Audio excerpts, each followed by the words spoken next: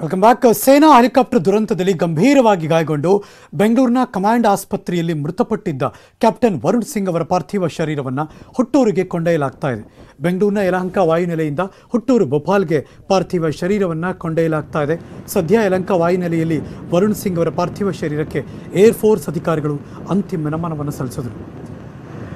ಈ ಕ್ಷಣ ಬರ್ತಿರುವಂಥ ಲೈವ್ ದೃಶ್ಯಾವಳಿಗಳು ನಿಮಗೆ ತೋರಿಸ್ತಾ ಇದ್ದೀವಿ. ಏರ್ ಫೋರ್ಸ್ ಅಧಿಕಾರಿಗಳು ಅವರ ಪಾರ್ಥಿವ ಶರೀರಕ್ಕೆ ಅಂತಿಮ ನಮನವನ್ನು ಸಲ್ಲಿಸ್ತಾ ಇದ್ದಾರೆ. ರಾಜ್ಯಪಾಲ ಥಾವರ್ ಸಿಂಗ್ ಗೆಹ್ಲೋಟ್ ಕೂಡ ಅಂತಿಮ ನಮನವನ್ನು ಸಲ್ಲಿಸಿದರು.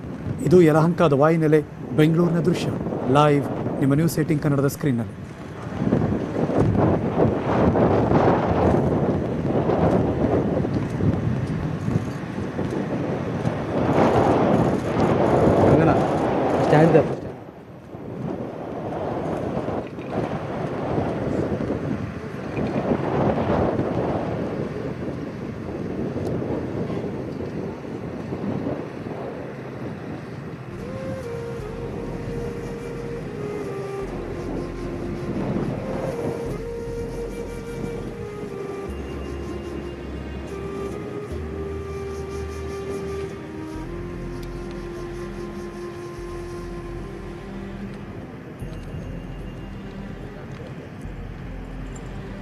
ಸ್ಟ್ಯಾಂಡ್ ಅಪ್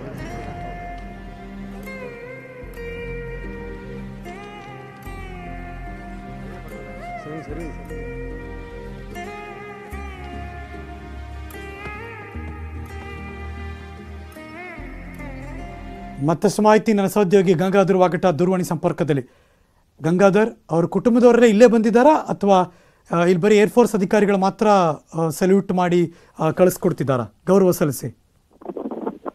ಹರೀಶ್ನಾಥ್ ಈಗ ಯಲಂಕ ವಾಯುನೆಲೆಯಲ್ಲಿ ಅವರ ಕುಟುಂಬ ಅಂದ್ರೆ ಕ್ಯಾಪ್ಟನ್ ಗ್ರೂಪ್ ವರುಣ್ ಸಿಂಗ್ ಅವರ ಪಾರ್ಥಿವ ಶರೀರಕ್ಕೆ ಅವರ ಕುಟುಂಬಸ್ಥರು ಸೇರಿ ಜೊತೆಗೆ ಏರ್ಪೋರ್ಟ್ ಅಧಿಕಾರಿಗಳು ಕೂಡ ಒಂದು ಅಂತಿಮ ನಮನವನ್ನ ಸಲ್ಲಿಸಿದ್ರು. ಜೊತೆಗೆ ರಾಜ್ಯಪಾಲರು ಕೂಡ ಗೌರವವನ್ನು ಸಲ್ಲಿಸಿದ್ರು. ಈಗಷ್ಟೇ ಈಗ ಏನು ಸರ್ವಿಸ್ ಏರ್ಪೋರ್ಟ್ಗೆ ಈಗ ಅವರ ಪಾರ್ಥಿವ ಶರೀರವನ್ನ ಶಿಫ್ಟ್ ಮಾಡ್ತಾ ಇರುವಂತದ್ದು. ಅಂದ್ರೆ ಸುಮಾರು ಒಂದು ಗಂಟೆಗಳ ಕಾಲ ಅವರ ವಾಯುನೆಲೆಯಲ್ಲಿ ಇಲ್ಲೇ ಅವರ ಪಾರ್ಥಿವ ಶರೀರವನ್ನು ಇಟ್ಟು ಜೊತೆಗೆ ಸುಮಾರು ಒಂದು ಇಪ್ಪತ್ತಕ್ಕೂ ಹೆಚ್ಚು ಜನ ಕುಟುಂಬಸ್ಥರು ಇಲ್ಲಿಗೆ ಆಗಮಿಸಿದ್ರು. ಅವರ ಕುಟುಂಬಸ್ಥರೆಲ್ಲರೂ ಕೂಡ ಇಲ್ಲಿ ಆಗಮಿಸಿ ಅವರೆಲ್ಲರೂ ಕೂಡ ಇಲ್ಲೇ ಅವರ ಇದ ಅಂತಿಮ ದರ್ಶನಕ್ಕೆ ಒಂದು ಅವಕಾಶವನ್ನು ಮಾಡಿಕೊಡಲಾಗಿತ್ತು ಜೊತೆಗೆ ಏರ್ಪೋರ್ಟ್ನ ಅಧಿಕಾರಿಗಳೆಲ್ಲರೂ ಕೂಡ ಇಲ್ಲಿ ಯಾವ ಬಾಯಿನಲ್ಲಿ ಯಾರಿದ್ರು ಎಲ್ಲರೂ ಕೂಡ ಅವರಿಗೆ ಒಂದು ಅಂತಿಮ ದರ್ಶನಕ್ಕೆ ಒಂದು ಅವಕಾಶವನ್ನ ಕೊಡಲಾಗಿತ್ತು. ಈಗ ಸರ್ಕಾರಿ ಗೌರವಗಳೊಂದಿಗೆ ಅವ್ರಿಗೆ ಇಲ್ಲಿ ಅಂತಿಮ ಒಂದು ಕಾರ್ಯಕ್ಕೆ ಎಲ್ಲ ಕೂಡ ಅವಕಾಶವನ್ನ ನೀಡಲಾಗಿತ್ತು. ಈಗಷ್ಟೇ ರಾಜ್ಯಪಾಲರು ಅವರು ಬಂದು ಅಂತಿಮ ನಮನವನ್ನು ಸಲ್ಲಿಸಿದ ಬಳಿಕ ಈಗ ಅವರ ಕೇವಲ ಸುಮಾರು ಒಂದು ಹತ್ತು ಮಂದಿಗೆ, ಅವರ ಕುಟುಂಬಸ್ಥರಿಗೆ ಮಾತ್ರ ಇಲ್ಲಿಂದ, ಅಂದ್ರೆ ಏರ್ಲಿಫ್ಟ್ ಏರ್ಕ್ರಾಫ್ಟ್ ಅಲ್ಲಿ ಹೋಗೋದಕ್ಕೆ ಅವಕಾಶವನ್ನು ಮಾಡಿಕೊಳ್ಳದೆ ಅವರ ಪತ್ನಿ, ಮಕ್ಕಳು ಜೊತೆಗೆ ಅವರ ಕುಟುಂಬಸ್ಥರಿಗೆ ಸೀಮಿತ ಮಂದಿ, ಅಂದ್ರೆ ಒಂದು ಹತ್ತು ಮಂದಿಗೆ ಮಾತ್ರ ಅವಕಾಶವನ್ನ ಕೊಡಲಾಗಿದೆ. ಜೊತೆಗೆ ಸುಮಾರು ಐದು ಮಂದಿ ಏರ್ಫೋರ್ಸ್ನ ಅಧಿಕಾರಿಗಳು ಇಲ್ಲಿಂದ ಹೊರಡೋದಕ್ಕೆ ಅವಕಾಶವನ್ನ ಮಾಡಿಕೊಟ್ಟಿರೋದು. ಇದೊಂದು ಕೆಲವೇ ಕ್ಷಣಗಳಲ್ಲಿ ಯಲಂಕದ ವಾಯುನೆಲೆಯಿಂದ ಇಲ್ಲಿಂದ ಭೋಪಾಲ್ಗೆ ತೆರಳೋಕೆ ಎಲ್ಲ ಕೂಡ ಒಂದು ಸಿದ್ಧತೆಗಳನ್ನ ಮಾಡ್ಕೊಂಡಿರುವಂತದ್ದು ಈಗ ಪ್ರತಿಯೊಬ್ಬರಾಗಿ ಈಗ ಆ ಏರ್ಫೋರ್ಸ್ನ ಅಧಿಕಾರಿಗಳು ಏರ್ಕ್ರಾಫ್ಟ್ನ ಒಳಗಡೆ ಆ ಒಂದು ಪಾರ್ಥಿವ ಶರೀರವನ್ನ ಅಲ್ಲಿ ಇಡುವಂತ ಕೆಲಸವನ್ನ ಈಗ ಮಾಡ್ತಾ ಇದ್ದಾರೆ. ಇನ್ನು ಕೆಲವೇ ಕ್ಷಣಗಳಲ್ಲಿ ವಾಯುನೆಲೆಯಿಂದ ಶ್ರೀಲಂಕಾ ವಾಯುನೆಲೆಯಿಂದ ಭೋಪಾಲ್ಗೆ ತೆರಳಲಿರುವಂತದ್ದು ಹರೀಶ್ ನಾಗರಾಜು. ರಾಜ್ಯಪಾಲರು ಅಲ್ಲಿ ಇದ್ದಾರಾ ಈಗ? ಕೃಷ್ಣರಾಜು ಈಗಷ್ಟೇ ಅವರು ಅಂತಿಮ ನಮನವನ್ನ ಸಲ್ಲಿಸಿ ರಾಜ್ಯಪಾಲರು ತೆರಳಿದ ಬಳಿಕ ಈಗ ಪಾರ್ಥಿವ ಶರೀರವನ್ನ ಶಿಫ್ಟ್ ಮಾಡ್ತಾ ಇರುವಂತದ್ದು.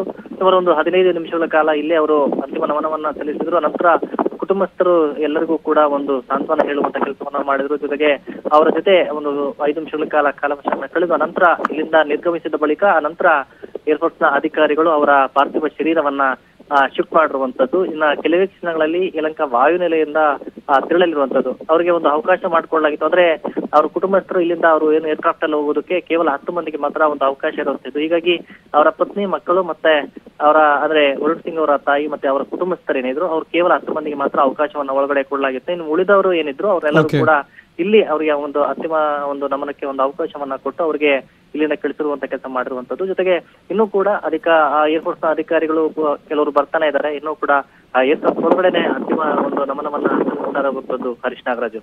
Thank you so much Gangadhar ವಾಗಟ ಈ ಕ್ಷಣದ ಮಾಹಿತಿಯನ್ನು ಅಪ್ಡೇಟ್ ಮಾಡಿದ್ದಕ್ಕೆ.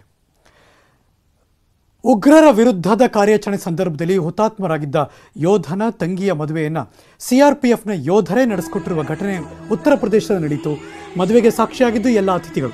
ಆ ಕ್ಷಣವನ್ನು ಕಣ್ತುಂಬಿಕೊಂಡು ಭಾವುಕರಾದರು. ಜಮ್ಮು ಮತ್ತು ಕಾಶ್ಮೀರದ ಪುಲ್ವಾಮಾ ಜಿಲ್ಲೆಯಲ್ಲಿ ನೂರ ಹತ್ತನೇ ಬೆಟಾಲಿಯನ್ ಯೋಧ ಶೈಲೇಂದ್ರ ಪ್ರತಾಪ್ ಸಿಂಗ್ ಕಳೆದ ವರ್ಷ ಅಕ್ಟೋಬರ್ನಲ್ಲಿ ಉಗ್ರರ ವಿರುದ್ಧದ ಕಾರ್ಯಾಚರಣೆ ವೇಳೆ ಹುತಾತ್ಮರಾಗಿದ್ದರು.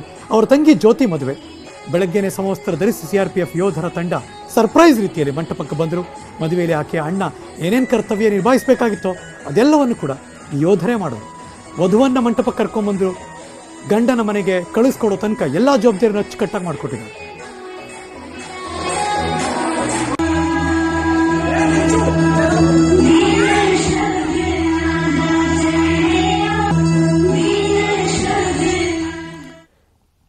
ಈ ಕ್ಷಣದ ನ್ಯೂಸ್ ಮುಗಿಸಿ ನಾನು ಹೋಗಿ ಬರ್ತೀನಿ. ಮತ್ತೆ ಸಿಗ್ತೀನಿ ಮುಂದಿನ ಸುದ್ದಿಗಳಲ್ಲಿ. ಪಕ್ಕಾ ನ್ಯೂಸ್ಗೆ ನೀವು ಯಾವಾಗಲೂ ನೋಡ್ತಾ ಇರಿ. News eighteen Kannada. ಜಾಲ ನಮ್ಮದು, ಬಲ ನಿಮ್ಮದು.